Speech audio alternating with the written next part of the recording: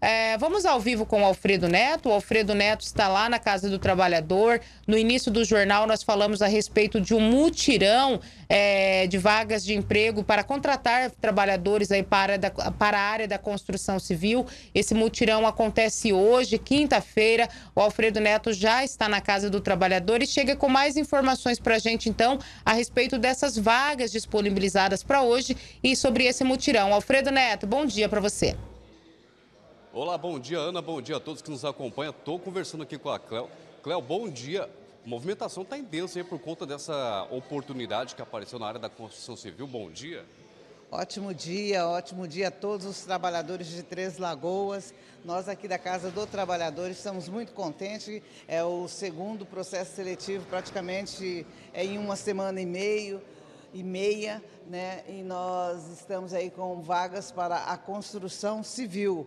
É, você aí que quer participar, que já trabalhou na construção civil e está desempregado, venha. Nós vamos estar aqui hoje com esse processo das 8 às 16. Você estava até me contando da movimentação intensa, o pessoal está procurando bastante. A gente, para reforçar, por mais que a gente sabe, na construção civil engloba desde o pedreiro, o carpinteiro, o que está sendo mais procurado, o que o pessoal está vindo mais aqui atrás dessas vagas? Olha, nós ainda não temos uma, não podemos descrever porque nós estávamos com as vagas de pedreiro e auxiliar de pedreiro desde segunda-feira. Ontem fomos, é, foi que a gente fechou com a empresa, carpinteiro, pintor, encarregado de obras, eletricista. Então a gente também assim, agora de manhã é que a gente vai poder usar um termômetro para medir, né, quais são as vagas que vão ser mais pedidas.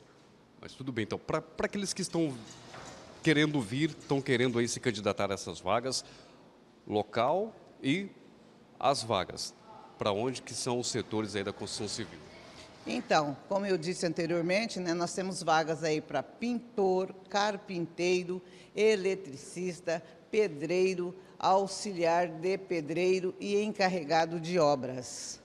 Muito obrigado, Cléo.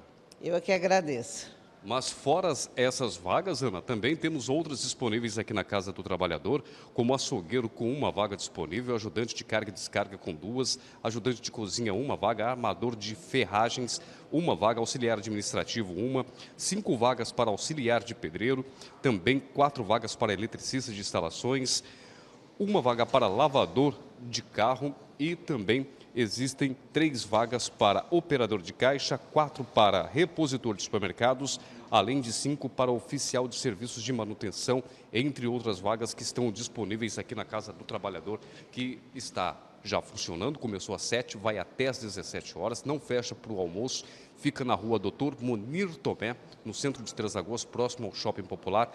E para aqueles que trabalham na construção civil e estava reclamando que não tem oportunidade, não estava conseguindo achar vaga, por mais que a gente noticiava 200, 300 vagas aqui na Casa do Trabalhador, a Casa do Trabalhador está com essa parceria com uma construtora, aonde tem inúmeras, diversas vagas para construção civil pedreiro, pintor, eletricista, servente de obras, encarregado de obras, entre outras, para construção civil.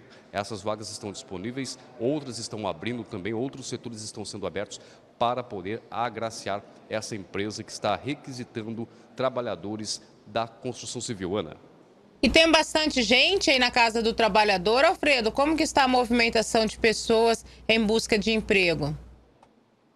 Ana, em vista do, das outras épocas que a gente vinha fazer pelo horário, logo inicial da manhã, tem sim, tem bastante pessoas e está uma movimentação rotativa.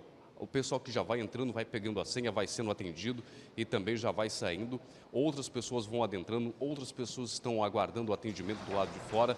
E a gente vê que a rotatividade das pessoas que estão vindo se candidatar às vagas ou fazer o recadastramento ou dar entrada no seguro-desemprego entre outros no Fundo de Garantia, é bastante alta, mas a procura de emprego também está bastante alta. Em vista daquelas vezes que a gente viu que com 280 vagas disponíveis e praticamente ninguém aqui na Casa do Trabalhador, apenas os funcionários, a gente vê que está tendo uma boa movimentação, uma boa aceitação da população que está vindo fazer a procura por essas vagas que estão sendo disponíveis aqui na Casa do Trabalhador. Ana.